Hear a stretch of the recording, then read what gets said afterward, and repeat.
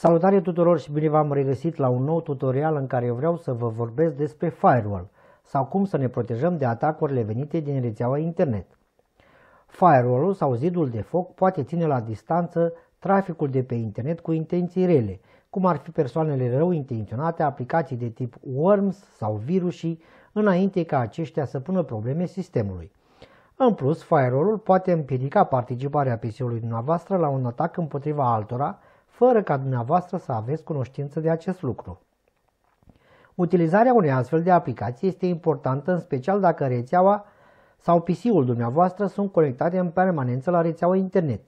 Există două tipuri de firewall-uri. Poate fi o aplicație instalată pe computerul personal sau poate fi un echipament care monitorizează și filtrează permanent transmisiile de date între PC și internet în scopul implementării unor politici de filtrare. Aceasta înseamnă protejarea resurselor rețelei de restul utilizatorilor din alte rețele și controlul resurselor la care au acces utilizatorii locali.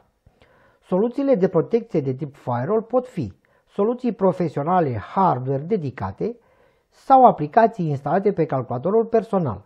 Pentru această soluție, firma Microsoft a implementat propria aplicație de tip firewall care poate fi înlocuită cu aplicații dedicate de obicei la instalarea unei suite de aplicații antivirus.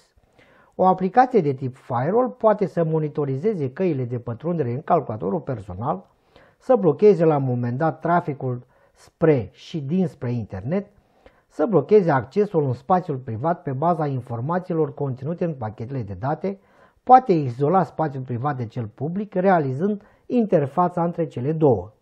Pe de altă parte, firewall-ul nu poate să interzică importul sau exportul de informații dăunătoare vehiculate ca urmare a acțiunii răutăcioase a unor utilizatori aparținând spațiului privat, de exemplu căsuța poștală și atașamentele. Să interzică scurgerea de informații pe alte căi care ocolesc firewall-ul. Să prevină manifestarea erorilor de proiectare ale aplicațiilor ce realizează diverse servicii, precum și punctele slabe ce decurg din exploatarea acestor greșeli. Pentru a arunca o privire asupra aplicației de tip Firewall din sistemul de operare Windows, realizați o căutare cu ajutorul instrumentului de căutare a expresiei Windows Security și apoi click pe Firewall and Network Protection. Veți putea vizualiza pentru ce rețele este activă aplicația, veți putea stabili ce aplicații să poată avea acces din exterior din diferitele rețele, cum ar fi internetul, acționând opțiunea Allow an App Through Firewall. Dacă, de exemplu, ați schimbat diferite setări ale aplicației Firewall la care puteți avea acces acționând opțiunea Advanced Settings, le puteți restabili la valorile lor implicite acționând opțiunea Restore Firewalls to Default. Utilizarea aplicației Firewall împreună cu o aplicație de tip antivirus conferă siguranță calculatorului personal și certitudinea că resursele de care dispunem nu pot fi folosite în scopuri dăunătoare pentru alte sisteme din rețelele din care calculatorul personal face parte.